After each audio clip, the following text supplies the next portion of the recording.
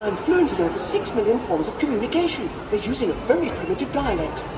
But I do believe they think I am some sort of god. I beg your pardon, General Solo, but that just wouldn't be proper. It's against my programming to impersonate a deity.